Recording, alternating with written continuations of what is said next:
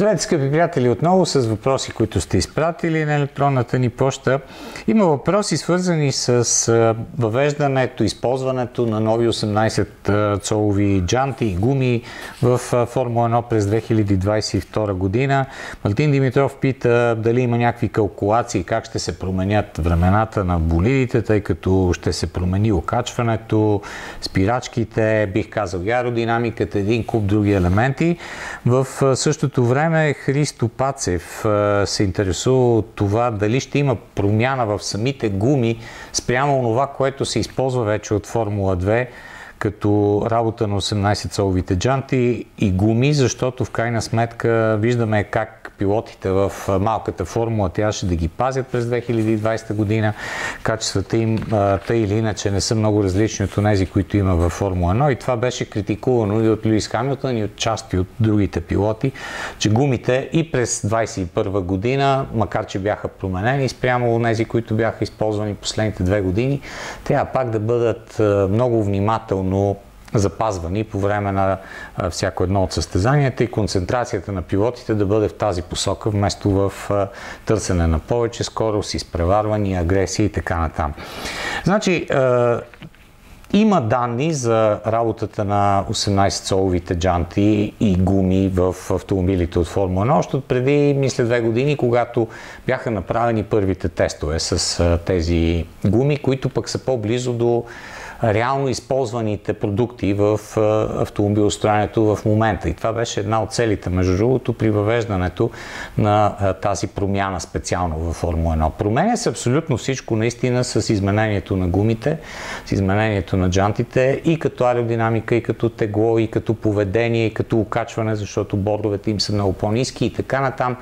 Много е а, дълга темата. Доколко самите гуми ще повлияят на промяната във времената е трудно да се оцени, защото знаете 2022 година правилата ще бъдат съвършено различни, много неща ще бъдат променени в автомобилите и какъв процент от тази промяна ще се пада на, на джантите и на гумите, едва ли някой точно може да калкулира, макар че вероятно това се прави в отборите от Формула 1. Сега, що се отнася до самите гуми, и тяхната издръжливост.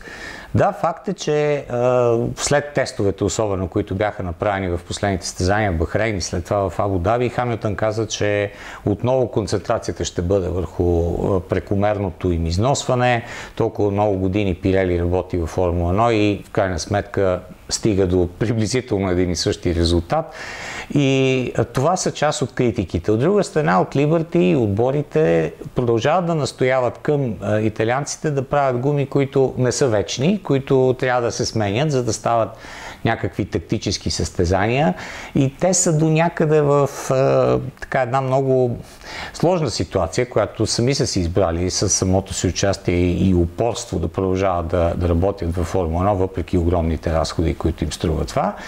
Интересно е, че а, до някъде самата конструкция, промяната на конструкцията на гумите ще бъде свързана естествено и с изменението на, на смесите, но това, което се очаква като продукция, като качество на гумите през 22 година, отново по-скоро ще е близко до това, което има в момента. Тоест тези, тези гуми няма да са много по-издръжливи, няма да са много по-меки, дори се очаква да са една стъпка по-твърди, за да гарантира до някъде от Пирели така една стабилност в хода на състезанията и да нямат някакви проблеми като тези, които имаха преди години, си спомняте, които всъщност бяха причинени от обръщането на гумите върху джантите и така натам.